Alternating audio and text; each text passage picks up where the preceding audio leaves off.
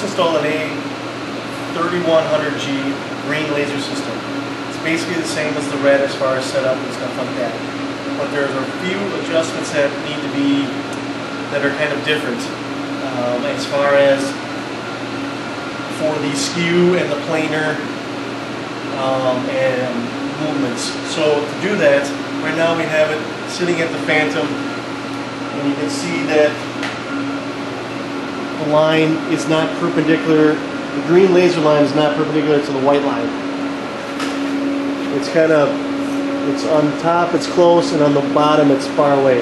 So to get that rotation out of there, we need to do a skew rotation with the lens. To do that, there's a set screw on the lens. You need to loosen that set screw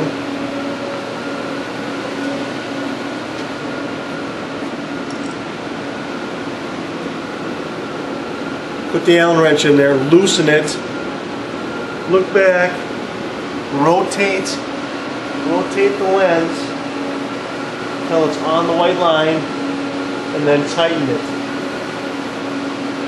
That is your rotation, your skew rotation. Now from the next one, you need to check to make sure it's the angle is shooting straight across. From the phantom here and shooting straight across the white line here. And if it's not, which we are, as you can see here, we are not quite on the white line. And as we go here, we're not on the white line. So now you can see that we're on the white line here, but not quite all the way across the white line here. So the line is shooting at an angle at one direction or this direction. And in this case, we're shooting across this way. So to get that movement out, we need to move the whole laser assembly over and then then skew and then move it back. So to do that, there's two screws that you have to loosen to do the whole assembly. And those are two screws in here. You need to loosen them, slide it over, and then tighten it.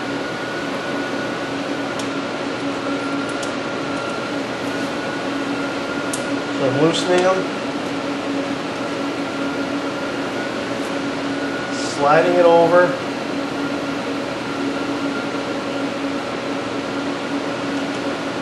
And then you tighten them. So they're tight. And then you do the same process again. You make sure that the line is parallel to the white line, so the laser line is parallel. If not, like it isn't there, you need to rotate the lens so it is parallel with the white line.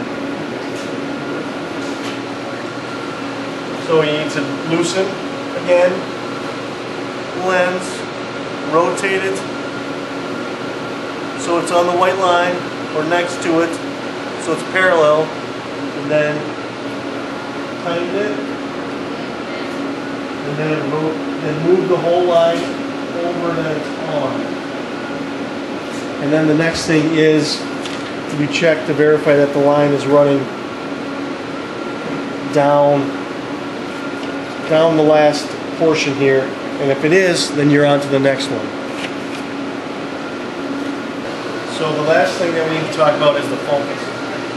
You need to, to focus the line.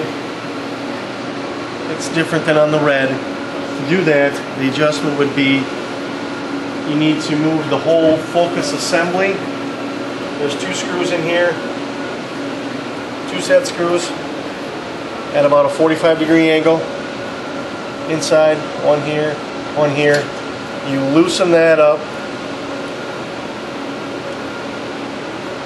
or both of them up, and then you need to make sure and you need to move it up and down, then you'll see that the focus is good or bad. So it's bad, it's really thick here, and then it gets thinner as you move it up and down. And once you like it, you just tighten it.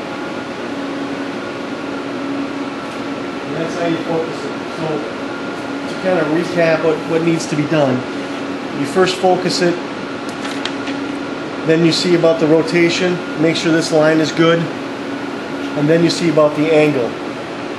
And to do that again, the rotation of the line is done, remember, by the rotation of the lens, the set screw here, rotating, get it straight or parallel to it, tighten it, and then move the whole line left or right or in or out is by the thumb wheel.